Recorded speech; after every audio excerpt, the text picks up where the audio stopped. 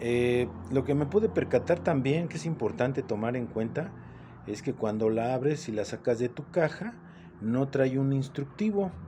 Supongo yo que el fabricante intuye que es muy sencillo el ensamblaje, lo cual parece que sí eh, eh, es cierto.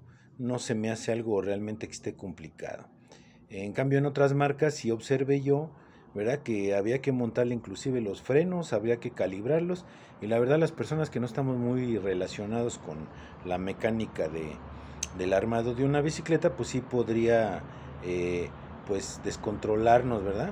En el caso de la Centur Fit, realmente pues el ensamblaje, o sea, la manera de, de armarla es bastante sencillo.